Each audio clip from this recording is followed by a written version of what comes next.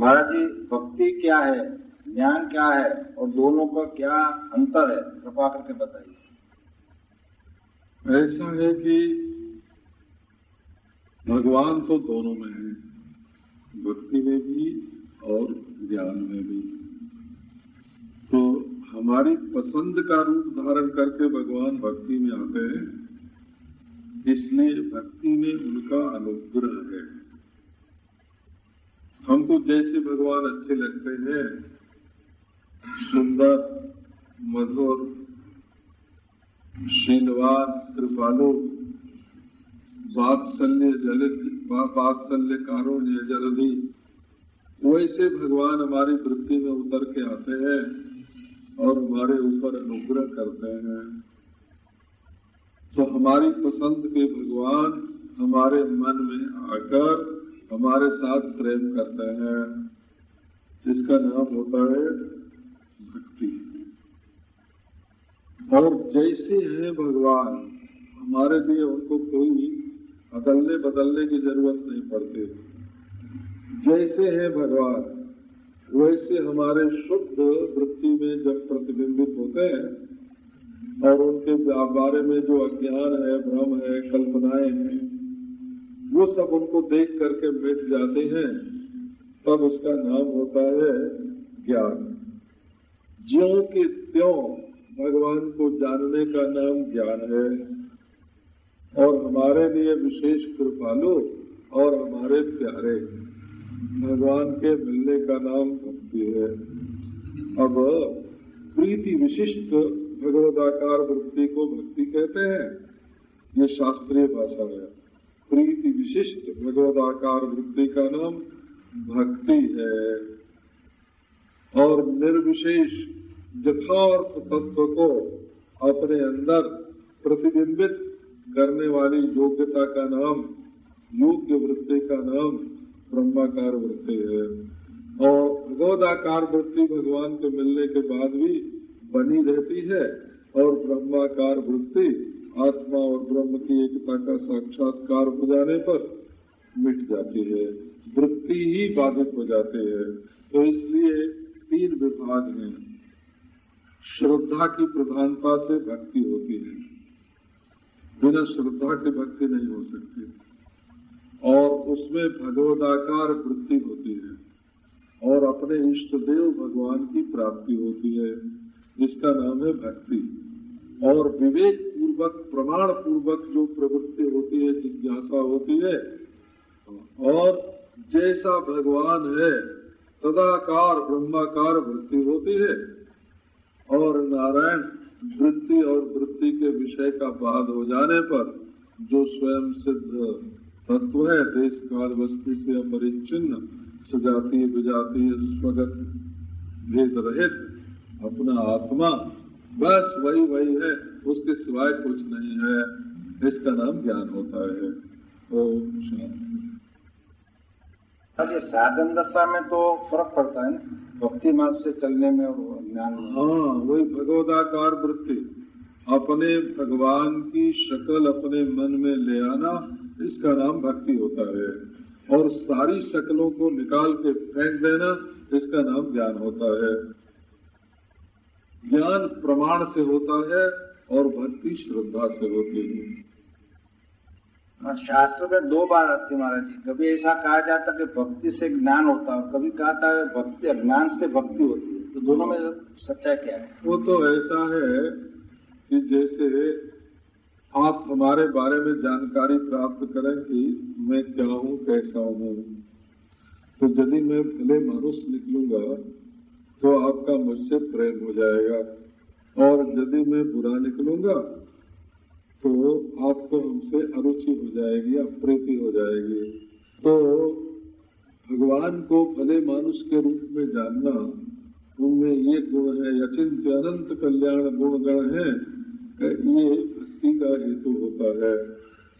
सगुण रूप में भगवान को जानने से उनकी भक्ति होती है। और निर्गुण रूप में परमात्मा को जानने से जब अपने को भी निर्गुण जानते हैं तो ज्ञान हो जाता है। तो साधन एक तो है गुणों का अपवाद करके निर्गुण तत्व को जानना और एक दुर्गुण हटाए करके, सदगुणों की स्थापना करके भगवान से मिलना। तो अब एक हुआ कि गुणों का ज्ञान हुआ, तब भगवान की भक्ति हुई तो कहेंगे, ज्ञान से भक्ति हुई। और एक, जितनी जितनी भक्ति करोगे, उतना उतना भगवान अपना ज्ञान देता जाएगा। जैसे कोई सेवा में रहे किसी के तो जिसकी सेवा करेगा, उसके गुण, दोष आदत स्वरूप, सबका ज्ञान हो जाएगा। सेवा करने वाले को अपने मालिक के स्वभाव स्वरूप का ज्ञान हो जाएगा और नहीं होता है तो सेवा सेवक नहीं है, मूर्ख नारायण हाँ। यदि वो समझते ही नहीं है कि हमारे स्वामी को क्या पसंद है और क्या पसंद नहीं है, अपनी पसंद को लादना चाहता है तो वो सेवक नहीं है और नारायण जब सेवा करेगा तो स्वामी के बारे में ज्ञान हो, और यदि स्वामी अच्छा है, उसका ज्ञान होगा तो उसकी सेवा और बढ़ेगी। इसलिए ज्ञान से भक्ति और भक्ति से ज्ञान, ये सगुण में दोनों होता है। और जिसको वैराग्य है नितान्त वैराग्य है, वो अपने स्वरूप को और परमात्मा को भी निर्गुण रूप में जानता है। इसलिए साधना की पद्धति में, शैली में तो फ़र्क होता ही है। ये बात ईसावाद से उपनिषद के भाष्य के उनको संभार में जहाँ भाष्य समाप्त होता है वहाँ भगवान शराचार्य ने तीन चार पैराग्राफ में भक्ति और ज्ञान में क्या भेद होता है कर्म और ज्ञान में क्या भेद होता है इसका उल्लेख अपने भाष्य में हमारे जी गीता में मनुष्य नाम सहस्य जो पश्चित व्यक्ति सिद्धि तो नाम पश्चित माँ व्यक्ति तत्व हाँ। तो ये किस तरह से कहा? ऐसा है कि मनुष्य जो है, वो विषय के लिए प्रयत्न ज़्यादा करते हैं। वो चाहते हैं कि कुछ हमारे पास संग्रह हो जाए तो उसका मैं मालिक बन जाऊँ। यद्यपि वो उनको किसी काम नहीं आता है, वो वही है। चाहे जितना बड़ा महल हो दिन भर में, हम तो एक ऐसे महल वाले के पास जाते हैं जिनके घर की स्त्रियाँ महाराज एक सिरे से दूसरे सिरे पर जब जाना होता है तो बीच में बैठ के तब आते इतना बड़ा महल है। नारायण और, और श्रीमती जी तो कमज़ोर कमज़ोर है। वो तो सीखिया पहलवान है और महल बहुत बड़ा है। पर एक ख्याल होता है कि हमारे पास इतना बड़ा महल है। सोते समय उनको भी तीन हाथ के पलंग पर तीन चार हाथ के पलंग पर ही सोना पड़ता तो लोगों का ख्याल है कि हमारे पास अरबों रुपए हैं। क्या करते हैं खाते हैं उसको? कि पीते हैं। तो लोग अभिमान का सुख लेना ज़्यादा पसंद करते हैं कि हमारे पास इतना इतना है। भले वो इकट्ठा करने के कारण हज़ारों आदमी भूखे मरते हो और नंगे रहते हो और वो तो इसका मज़ा लेते हैं कि हमारे पास इतना है। कई लोग ऐसे होते हैं जो भोग के सुख में लगे हुए हैं। ये खाएँगे, ये पिएँगे उनको उनको झूठ मूठ बिना किसी काम के वो नारायण घर छोड़ के होटल में जाके रहते हैं वो। कि वहाँ ज़्यादा सर्विस मिलेगी, ज़्यादा सुख मिलेगा, ज़्यादा सेवा मिलेगी। वहाँ शराब मिलेगा, परस्ती मिलेगी और मकान अच्छा होने पर भी होटल में जाकर रहते हैं। तो ऐसे वो भोग का सुख, भोग में फंस गए और नारायण कई लोग हैं तो बोले, अभी है इतना तो क्या हुआ? जब इतना हो लेगा। भौमासुर था, उसने कहा, सोलह हज़ार लड़की हमारे पास है तो क्या हुआ? हम भोगेंगे नहीं। जब एक लाख हो जाएँगे, तब भोगेंगे तो वो मनोराज्य करते हैं कि एक लाख का भोग करेंगे और आज भूखे रह जाते हैं। हलवा पूरी मिलेगी तब खाएँगे और, का ये रोटी दाल नहीं खाएँगे। तो वो लोग मनोराज्य में फंस जाते हैं। ऐसे कई लोग होते हैं कई आदतें डाल देते हैं। और, अपने इस रिश्ते में रहेंगे नाते में रहेंगे इनके साथ रहेंगे। तो ये मनुष्य की आदत है अपने आप को कहीं मिली चीज़ का अभिमान करने की, कहीं भोगने की, कहीं अनमिली चीज़ की, के बारे में मनोराज्य करने की, और कभी अपने आदतों में इतने उलझ के उसी में फंसे रहने की। तो मनुष्य वो नारायण आगे नहीं बढ़ सकता है। हज़ारों हज़ारों मनुष्य में शास्त्रेशु का कम से कम तीन हज़ार तो होने चाहिए। सहस्रंच सहस्रंच सहस्रंच सहस्राणी तेईसु तीन हज़ार आदमियों में से एक आदमी सोचता है कि हम सिद्धि की प्राप्ति के लिए कुछ यत्न करें। सिद्धि माने अंतकरण की शुद्धि। तीन हज़ार में से एक आदमी चाहता है कि हमारा अंतकरण ईमानदार हो, शुद्ध। उसके लिए प्रयत्न। यतताम अपनी सिद्धा नाम अब तीन हज़ार करने वालों में से किसी एक का अंतकरण शुद्ध होता है। और तीन हज़ार शुद्ध अंतकरण वालों में से कोई एक है जो परमात्मा को तत्वतः जानता है।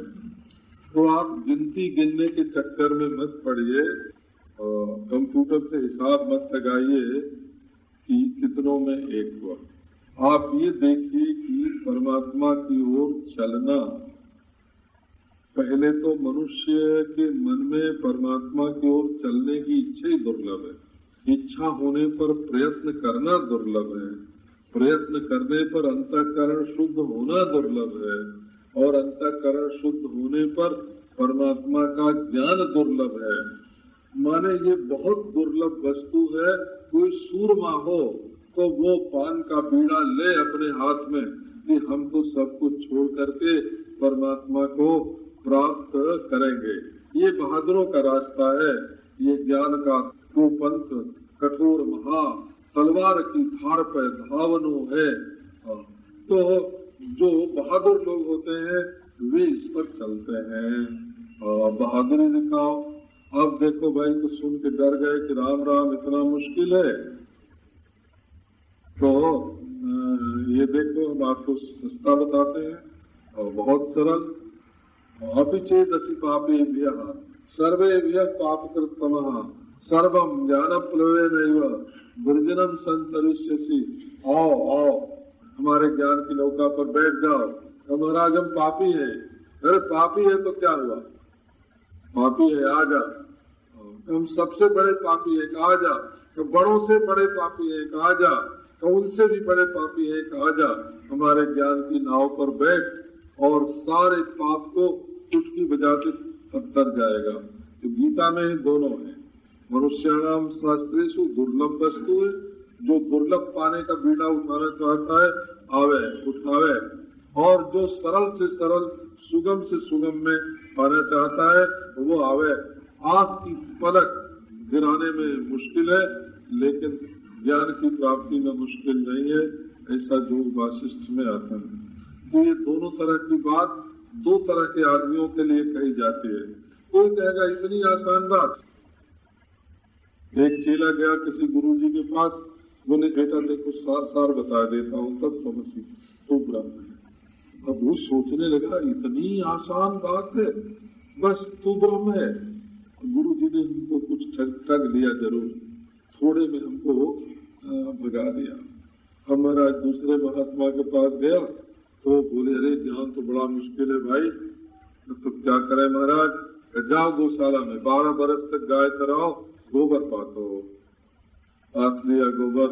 कब बोले अच्छा बारह बरस के बाद अब रसोई घर में आ जाओ। रोटी बेलो बर्तन माजो। बारह बरस भी कर लिया। अच्छा अब कुठार संभालो। और बारह बरस कुठार संभाला। महाराज, जब अड़तालीस बरस हो गया तो अब गुरु जी, मैं तो आपके पास ज्ञान के लिए आया था। बोले तत्व मसीह बेटा तो ब्रह्म है।